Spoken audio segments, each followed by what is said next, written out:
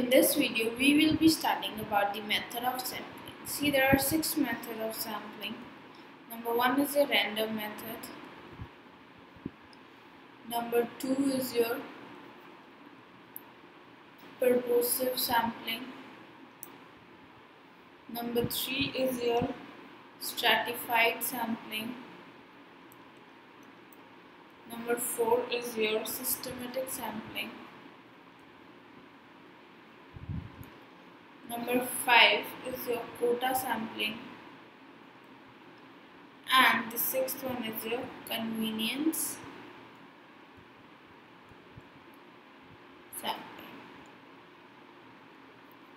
So in this video we will be studying about the first three methods of sampling.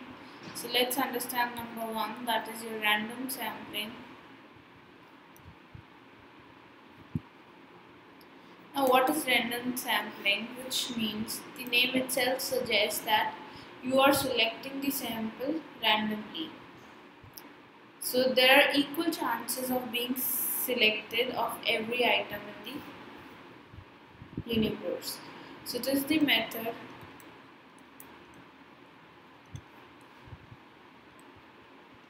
of sampling in which each and every item of the universe has equal chance of being selected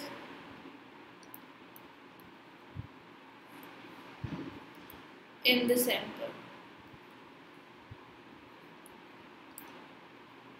Which means let's suppose there is a oral class test in your class and there so ma'am won't listen from everybody in the class. Let's suppose there are 50 students.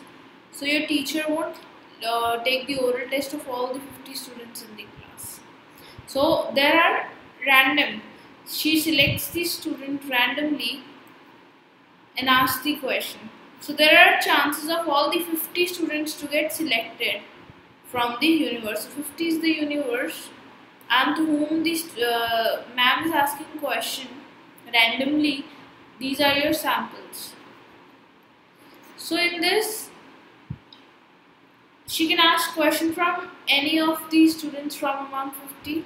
So this is the method of sampling in which each and every item of the universe has equal chance of being selected what are the merits of random sampling? It is free from personal biasness.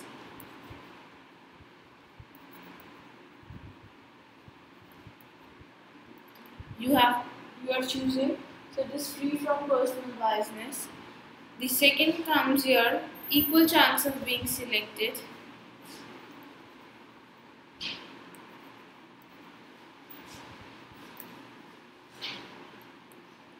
Then the third comes your fairly represented sample.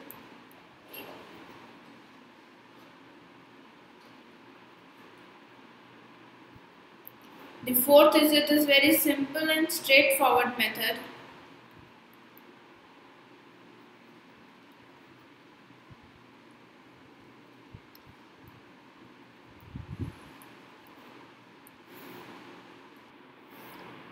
Demerits of random sampling is it does not guarantee proportionate representation.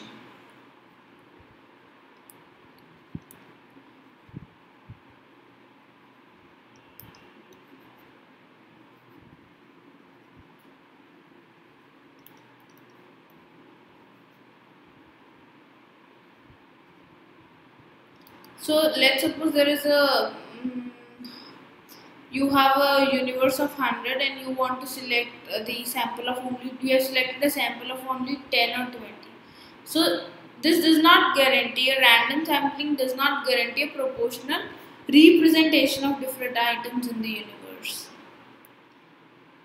The, may not give weightage to certain important item. May not give weightage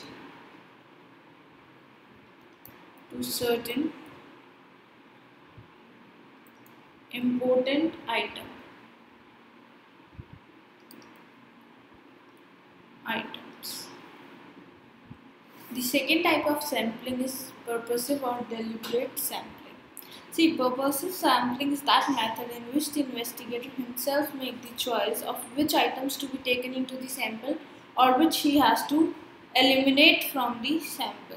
So it is your choice according to which, if you are an investigator, it is your choice according to which you take the items of the sample. You only according to your knowledge selects the sample. So this is, it is that method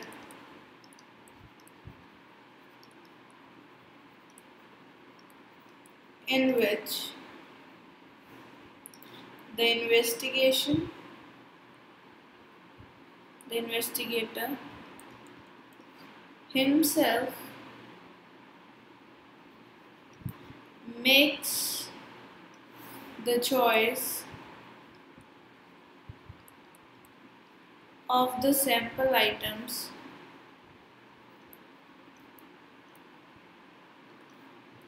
which in his opinion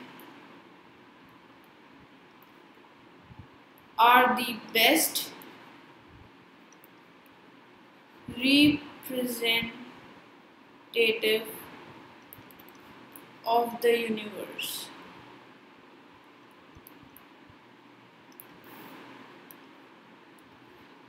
So your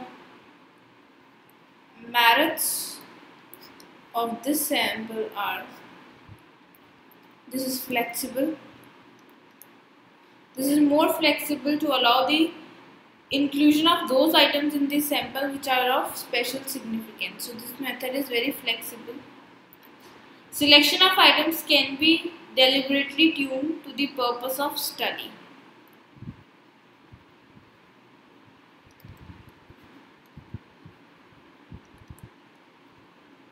Can be deliberately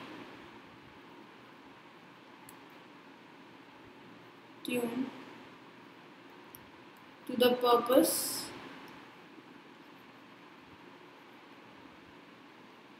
of study. Third comes here, it is simple technique of selection of the sample items. So it is a simple technique in which you can select the items of the sample according to your knowledge and which are of the great significance. Demerits are personal bias because the investigator is selecting himself so it, he can be personally biased towards the sample. Less reliable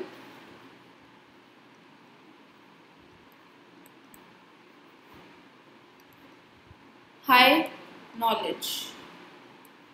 So these are some of the demerits of the purposive sampling method. The third one is the stratified or mixed sampling. See under this what you do, there is a population. You divide the population according to its characteristics in different strata or parts. From these parts, you choose sample.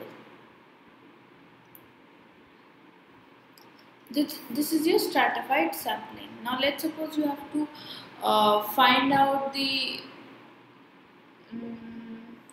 um, average weight of the people living in this society so that you can uh, you know give the weight to the lift accordingly like 1870 kg or 550 kg or 6 percent 7 percent. So what you do you'll divide the uh, population into the strata that is the women men and children from women, men, and children, you will take the uh, the few samples of women uh, weight, few sample of men weight, and few sample of children weight.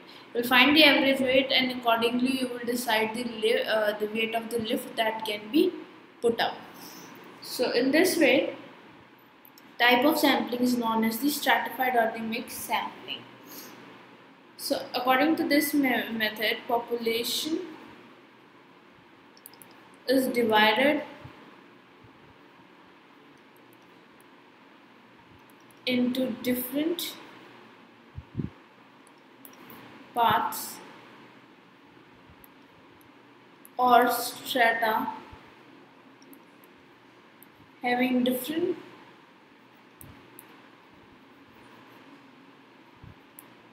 characteristics.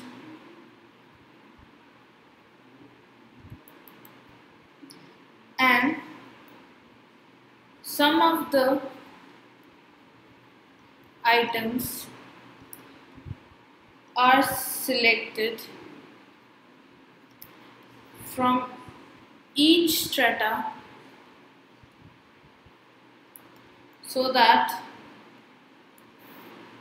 the entire population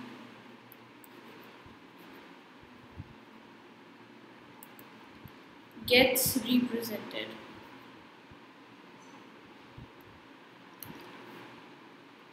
So in this case, let's suppose uh, there are 50 students in class 11, out of which 30 have studied mathematics and 20 have studied home science. From each of these uh, strata, items would be selected proportionately such that the sample represent the characteristics of the entire population. So this is just stratified or mixed sampling. Its merits are it covers diverse characteristics. The second is uh, you can have the comparative analysis of the data. The third merit is reliable data because take it has taken into consideration the all the characteristics of the population of so it is reliable data. Demerits are you need a complete knowledge in order to divide the data or make the parts or stratas. Second one is possibility of biasness. There is possibility of biasness. Third is it is further difficult to divide difficulty to divide into smaller parts or stratas if the data is very is very diversified when the size of the population is very diversified so it is very difficult to divide into the smaller parts or stratas. So this is your stratified or the mixed sampling method I hope you like our video. Please download our Scholars Learning app and enjoy the learning experience.